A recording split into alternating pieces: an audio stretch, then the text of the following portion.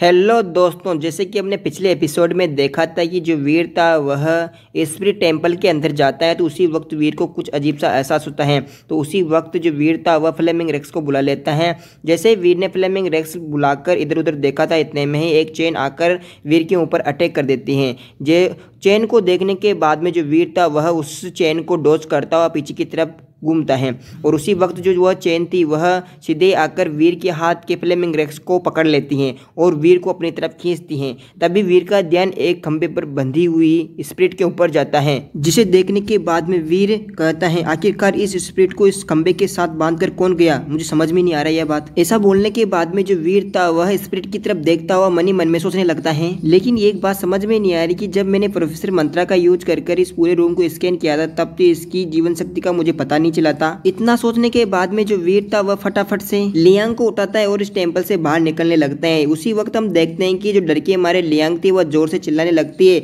इस बार हम नहीं बचेंगे, इस बार मैं ज़रूर मर जाऊँगी। बचाओ मुझे।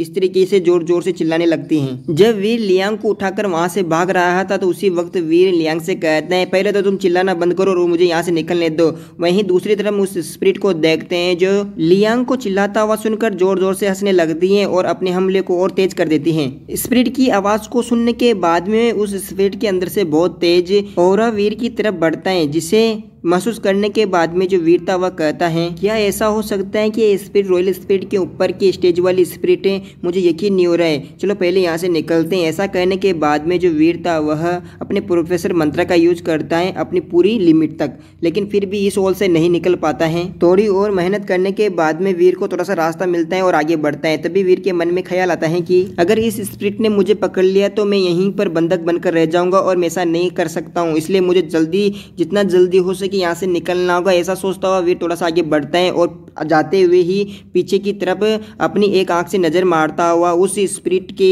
हाथों में बंधी हुई चेन को बहुत ही ध्यान से देखता है और उस चेन के मूवमेंट को याद कर लेता है। तभी वीर को समझ में आता है कि जहाँ तक इस स्पिरिट की नज़र जाती है, बस वहाँ तक इस चेन के मूवमेंट को यह आजमा सकती है, उसके आगे नहीं। और इसके थोड़ी देर बाद हम देखते हैं जो वीर था, वह उस स्प्रिट टेंपल के अंदर से बाहर निकल आता है। वही हम देखते हैं कि जो लियांग थी, वह टेंपल से बाहर आने के बाद में ज़ोर ज़ोर से रोने लगती है और वीर से कहती है, कमीने, तुम मुझे छोड़ दो। जल्दी करो और मुझे छोड़ दो।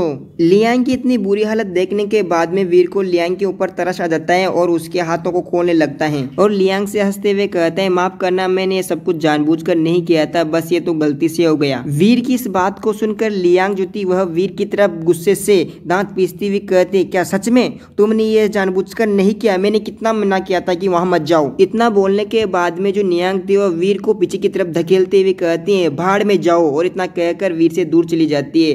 तभी वीर को अपनी तरफ़ बहुत ही स्पीड से कुछ आता हुआ महसूस होता है और कहते हैं, लगता है कोई चीज़ बहुत ही स्पीड से मेरी तरफ़ आ रही है। इस बात की जानकारी लेने के लिए जो वीर था, वह नियांग के पास जाता है और नियांग से पूछता है, नियांग, क्या तुम मुझे एक बात बता सकती हो? इस स्पिरिट के अलावा इस इस शेल्टर के अंदर कोई दूसरा भी एलियन है या कोई स्पिरिट हो?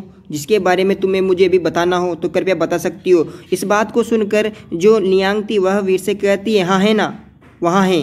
नियांग इतना कहकर चुप हुई थी, इतने में ही एक येलो कलर का कैट सुपर एलियन वीर के ऊपर अटैक करने के लिए आ जाता है। जैसे ही लियांग इस सुपर एलियन को देखती है तो उसी वक्त लियांग कहती है, छोटी नारंगी, तुम यहाँ पर क्या कर रही हो? लियांग की इस बात को सुनकर यह जो एलियन था, यह वीर के ऊपर अटैक नहीं करता है और लियांग के पास चला जाता है। और यह एलियन लियांग को चाटने लगता है और लियांग कहती है, लिटिल ऑरेंज, आखिरकार तुम वापस आई गए। मैं तुम्हारा कब से वेट कर रही हूँ? यह सब देखने के बाद में जो वीर था, वह सामने की तरफ़ देखता हुआ कहता है क्या लिटिल ऑरेंज इस विचित्र एलियन के अंदर से निकलने वाली जो और है, वह तो एक सुपर एलियन का लग रहा है ना?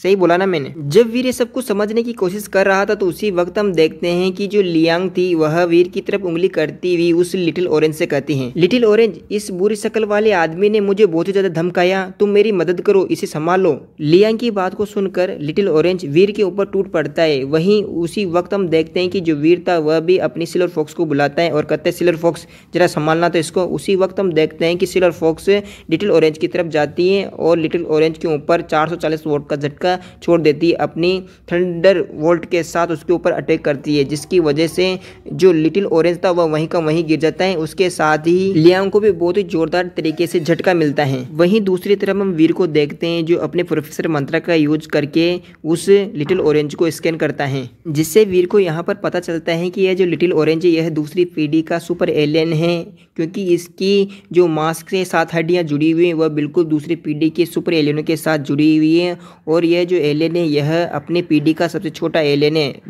बल्कि यह आकार में बहुत ही बड़ा है, उसे कुछ फ़र्क नहीं पड़ता है। जब वीर प्रोफेसर मंत्रा की मदद से यह सब कुछ जान रहा था तो उसी वक्त हम देखते हैं कि जो लियांग थी, वह वीर की तरफ़ गुस्से से देखती हुई अपने मन में कहती है, सला कुत्ता, कमीना हराम ज़्यादा मेरे ऊपर इतना हाई वोल्टेज का झटका क्यों मार रहा है? उसी वक्त हम देखते हैं कि जो वीर था, वह एकदम से ही लियांग के पास आ जाता है। वीर को इतना पास देखने के बाद में जो लियांग थी, वह डर जाती है और वीर से कहती है, देखो, तुम मेरे पास आने की हिम्मत मत करना। तुम्हें क्या लगता है, मैं कमज़ोर हूँ, मैं बहुत ही ज़्यादा पावरफुल हूँ, मैं तुम्हें बहुत ही आसानी से सबक सिखा सकती हूँ, मैं बहुत ही ज़्यादा मज़बूत हूँ। लियांग की इन बातों को सुनकर जो वीर था वह लियांग से कहता है, इन बचकानी बातों को छोड़ो, मैं तुमसे कुछ पर्सन पूछना चाहता हूँ। अगर तुम उसका सही जवाब दोगी तो मैं, लिटिल ऑरेंज ने जो मेरे ऊपर हमला किया है, मैं उसे भूल जाऊँगा। अगर तुम मेरे उन सवालों का जवाब गलत देती हो तो मैं तुम्हारे इस लिटिल ऑरेंज वॉट जो भी इसका नाम है, मैं इसे स्पिरिट टेंपल के अंदर फेंक दूँगा और फिर तुम देखती रहना और रोती रहना, ठीक है ना? वीर की इन बातों को सुनकर लियांग का तो पूरा एटीट्यूड ही चेंज हो जाता है और लियांग वीर से बहुत ही प्यार से कहती हैं। अरे नहीं, ये तो मेरा बहुत ही बड़ा भाग्य है जो कि मैं तुम्हें इस मोरा ग्रह पर मिली और खास करके इस डेजर्ट पर। यहाँ पर कोई तो मिलता ही नहीं है ना। हम यहाँ पर लड़कर मरकर क्यों रहें? हम तो ऐसे ही रहेंगे ना, अच्छे से प्यार से, बहुत ही प्यार से। है ना, मैं सही बोल रही हूँ ना? और फिर इसी तरीके से हम थोड़ी देर बाद का सीन देखते हैं, जहाँ पर वीर लियांग से बहुत सारे क्वेश्चन करता है और लियांग उसके सभी क्वेश्चनों का आंसर देती है। और आंसर देती हुई जो लियांग थी, वो मन में ज़ोर ज़ोर से वीर को गालियाँ देती हुई कहती है, साले कमीने, तुमने मेरी छः बोतलें पी गई हैं। मैंने कितने सालों से इन्हें नहीं पिया है और तुम इन्हें बस कुछ ही देर में ख़त्म कर चुके हो। और इसी तरीके से दो पाँच गालियाँ देने के बाद में अपना गुस्सा शांत करती है। और लियांग वीर को बताती हैं कि जब यहाँ का युद्ध समाप्त हो गया तो जब मैं यहाँ से बच गई थी तो उस वक्त मुझे यह लिटिल ऑरेंज मिला, जिससे मेरी जान पहचान हो गई और मेरी इससे दोस्ती हो गई और फिर हम दोनों साथ काम करने लगे और साथ शिकार करने लगे, जिससे मेरा अच्छा टाइम निकलने लगा।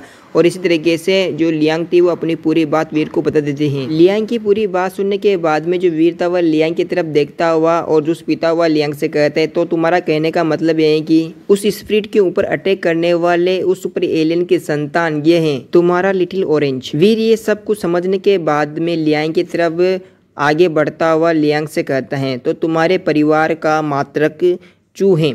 तो एलायंस के अंदर जहाँ तक मुझे पता है, चू परिवार के नाम के बहुत सारे लोग हैं, बस तुम्हारे परिवार के बारे में जानना थोड़ा सा मुश्किल हो सकता है, लेकिन मैं कोशिश करूँगा कि तुम्हारे परिवार को कैसे ढूंढा जा सके।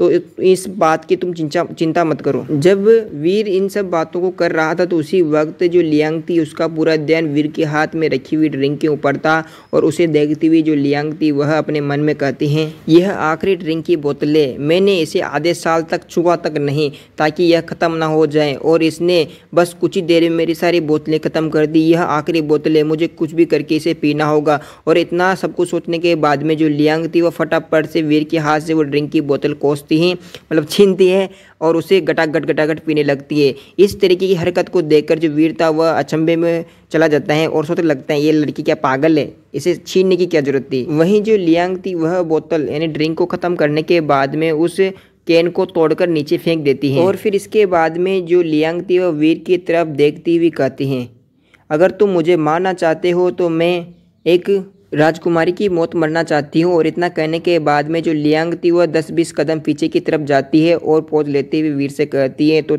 बताओ, तुम क्या करना चाहती हो? लियांग की इन सब बातों को सुनने के बाद में जो वीर था वह लियांग की तरफ़ चश्मा नीचा करता हुआ कहता है तो अब मुझे तुम्हें बताना होगा कि मैं क्या चाहता हूँ। और इतना कहने के बाद में जो वीर था वह मुड़कर चला जाता है और वहीं जो लियांग थी वह वीर को जाता हुआ देखकर हंसने लगती है और वीर से कहती है, नहीं नहीं, तुम कहीं भी जा सकते हो, मेरे इससे क्या मतलब है? बस मैं तो ऐसे ही पूछ रही थी और जो वीर था वह फिर से शेल्टर के अंदर चला जाता है और लियांग उसे जाता हुआ देखती है और हाथ हिलाती लग, हाथ हिलाती रहती हैं। और इसी के साथ ही एपिसोड भी यहीं का यहीं ख़त्म हो जाता है। तो भाई लोगों, इसी के साथ करते हैं इस वीडियो का एंड अगर आपको एपिसोड पसंद आ रहा है तो चैनल को सब्सक्राइब कर लेना बेलाइकन ऑन कर लेना और लाइक कर दो कमेंट कर दो शेयर कर दो। और अगला एपिसोड बहुत ही जल्द आने वाला है, शायद मैं कल ही अपलोड कर दूँगा और इसे आज।